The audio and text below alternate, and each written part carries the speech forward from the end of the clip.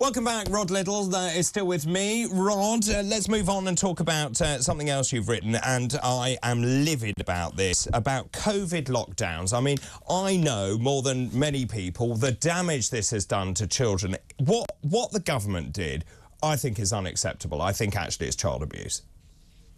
Yeah, I think that's right. Uh, I, I, went along with the first lockdown. I was probably wrong to do that, uh, but I, uh, I minded my P's and Q's. I even wore a mask. Mm. Um, uh, and and uh, and by and large, I thought the government doesn't really have a grip on what this, and no government does on, on what this uh, virus means for us all.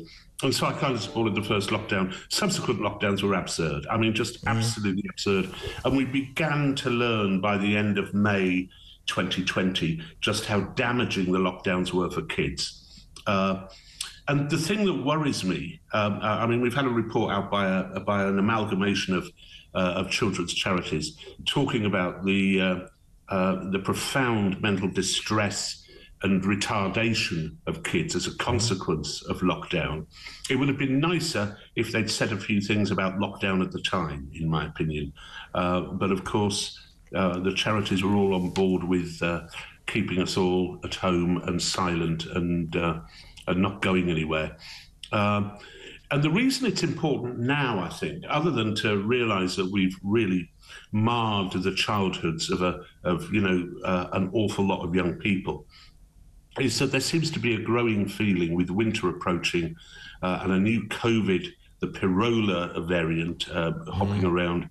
Uh, I noticed that the Scottish National Party has refused to rule out lockdowns. You, you know, so it's all kind of coming to be back on the agenda. Mm.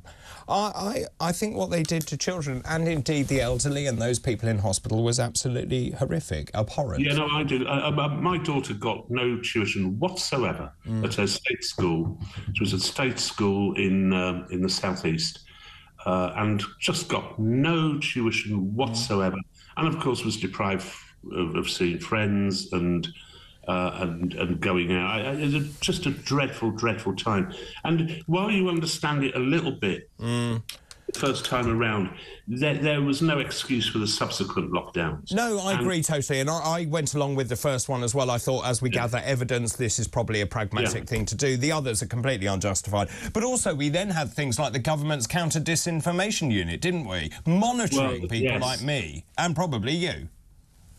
Yeah, it really began to worry me. Um, uh, the, the, degree to which the BBC particularly went along. Mm with this, uh, but also that the government, uh, with its disinformation units involving the military at one point, uh, which which was to to dampen down genuine issues such as the efficacy of lockdowns, the efficacy of masks, and indeed the possible side effects of vaccines, which is an important issue. You know, you don't have to be a a, a deranged conspiracy theories, to to to ask questions about vaccines when we know, and this was originally um, uh, cancelled. You weren't allowed to say this. That there was a link between vaccines and blood clots. Well, there is. There is. We know you know, we have to be clear about that. And we have to be clear about what the other possible side effects are uh, without being, you know, it, the, the, more you stamp down on this stuff, the more the conspiracy theory mm. grows.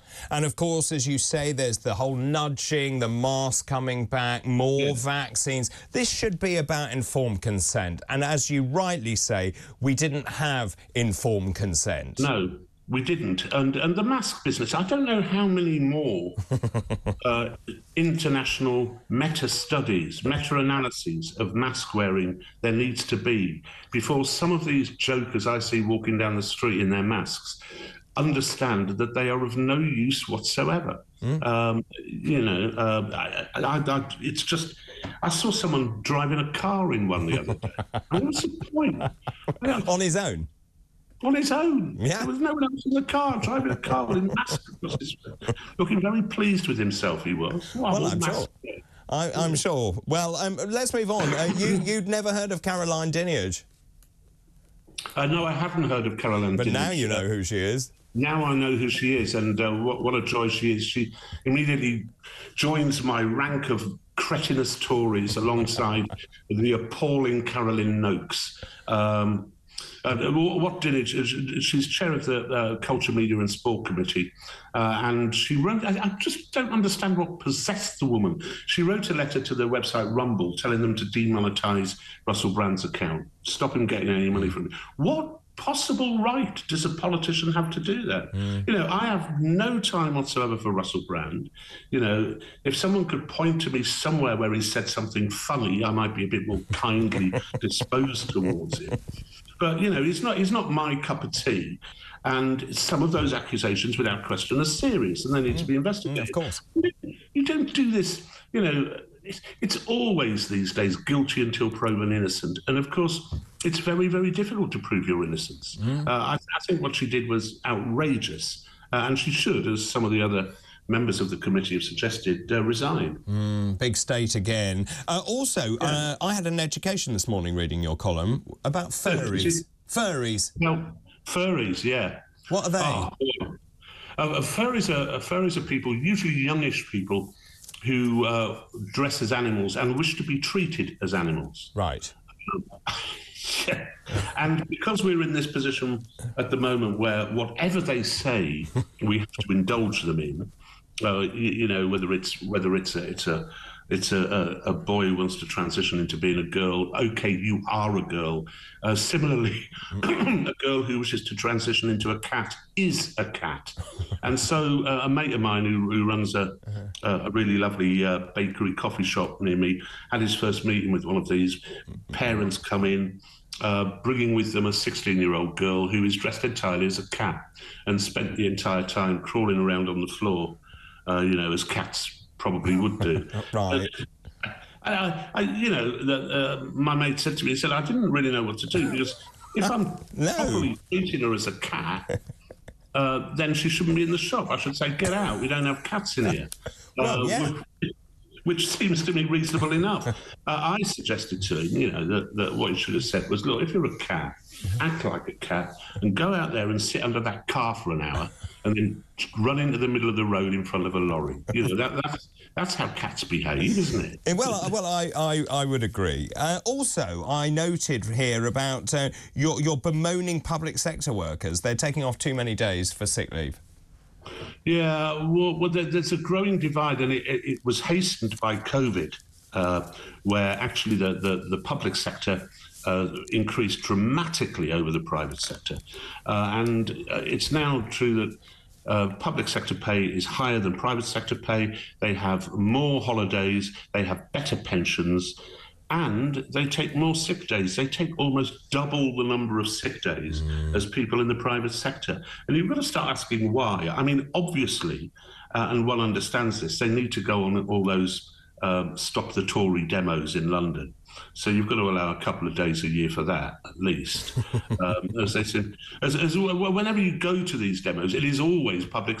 It's either public sector workers, charity workers, or students. You know, no, no one who's got a proper job. In other words, or a freelancer yeah. who doesn't earn any cash. You can't, you can't afford to do right. it. Yeah, yeah. I, I mean, you, you just, it, but there seems to be an indulgence in the public sector, which doesn't extend to the private sector. Now, you might say that that, that, that you know uh, News UK should be far more indulgent with us about the days we take off. But uh, if we want, a, yeah, if we want a sound economy, uh, then then we need a public sector which actually lives within its means and doesn't allow people to swing the lead. Because, mm. frankly, mate, 10 days off a year, which is the average in the public sector, mm. I haven't had, I had, I had last had a day off and I caught listeria on the day I took over as editor of the, the, the World Tonight, and that was 1996. you know? they don't make them like you anymore. That's the problem, Rod. but it's not, it's not as if I'm a paragon of health, you know? I, I don't wish to comment. I don't wish to comment. Uh, very, very quickly, though, I said it was a very educational uh, co um, uh, column indeed. I've learnt um, something about dentures. Tell us about this story. do, you, do you not watch Tipping Point? I can't say I do. I, I, when I finish my work for the day, I, I turn on at five o'clock. It's on at four o'clock, but you get these channels where you can go back in time. If only we could go back to 1952, but we can't. Anyway, uh, why would you go on a quiz program if you're thicker than a block of David Davidstow cheddar cheese? Why would you do it? Is it, is it a joke? There was a bloke on there earlier this week. His name was Mike, and he was asked, "What part of the body would you wear dentures?" and with great confidence, he said, "Feet." Why would you do that? Why would you go on television and, and, and reveal yourself to be this uh, a shrub? You know, it's just, and, and yet you see it. You see it um, every day. It's one of the reasons I watch out of spite. I suppose uh, the, the, people are so dense. Um, the, the same program, a woman was asked to name a Scottish writer, uh, a Scottish writer born between 17, uh, lived who lived between 1780 and about 1840. And she very confidently said, William Shakespeare. William Shakespeare. and, and any any sense of irony that she might possibly no, be no. no there's, there's, there's, oh, is it? Oh, thanks, Ben. Oh, I didn't know that. Oh, it sounds like a, I have an appointment with Tipping Point, uh, Roger. Yeah, you've, got, you've, got to, you've got to have a look at Tipping Point.